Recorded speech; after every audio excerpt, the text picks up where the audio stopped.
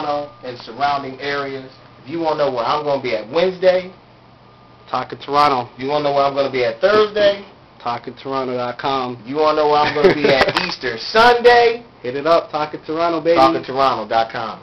You need to check that out. There you go.